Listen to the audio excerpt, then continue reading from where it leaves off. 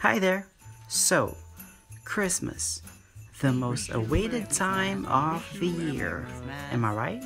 Most of the fondest memories I have as a kid are about Christmas.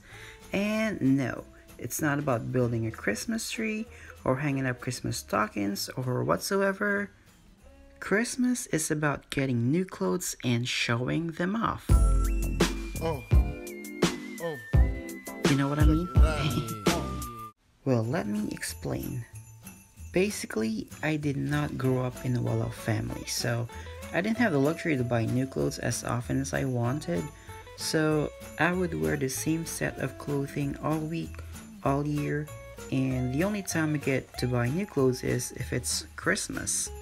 Ho ho ho. As soon as December steps in and my dad receives his salary bonus, my mom would take me and my siblings to the mall and we would shop for new shirts, new pants, and if there's extra money, new shoes. I don't know about you, but it always makes me feel good and confident in a way whenever I wear new stuff. Damn, new shirt, new shoes? You must be rich. But I really wasn't.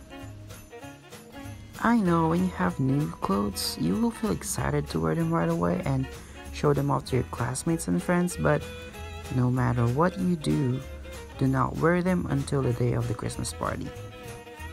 Don't be that kid where everyone else is wearing new clothes and you're not. You'll be like, Oh, didn't you just wear that last week? But one of the traumatic things I experienced with school parties is the exchange gifts. One time, I asked my mom to buy a Transformer toy figure for my Secret Santa. That thing was expensive.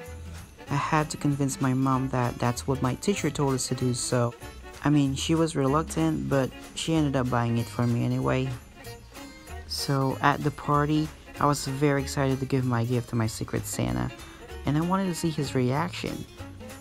He opened the gift and his eyes were just full of surprise and it's probably the nicest gift he received probably ever. So that was nice. When it was my turn to open my gift, I guess I was hoping I would receive the same thing or something better. Besides, the more you give, the more you receive, right? Well, I guess not all the time. I opened my gift and what I was expecting to be an awesome toy or whatever I got a bar of soap.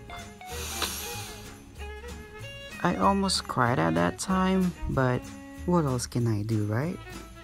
So, moral lesson of the story, I guess, is don't stress yourself in buying Christmas gifts. Everything gets old, and you never know if the gift you're going to give the person will mean anything to them. You know, they may just throw it away or give it to somebody else or chew it by their dog or whatever. Anyway, I just want to give my special thank you to Miss Lauren of eLL cartoons for reading a few lines on this video. That was really awesome. You folks better check her channel because she is super cool. And oh, Merry Christmas guys and Happy New Year. That's it. Bye. Peace.